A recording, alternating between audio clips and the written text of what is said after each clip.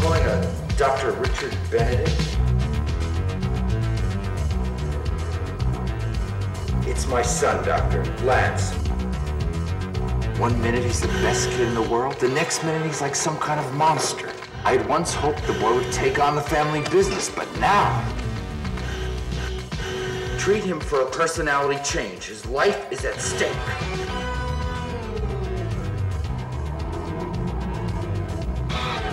I think you've got the next Howard Hughes on your hands.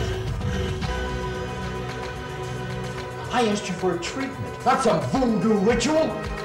Why maniacs in there? What else was I to do? But the treatments must be completed. You're just a spoiled brat. In fact, if they were discontinued, Lance would be a living vegetable. Just sober that punk kid up and get him ready for the loony bin. Because that's where he'll be heading stupid quack.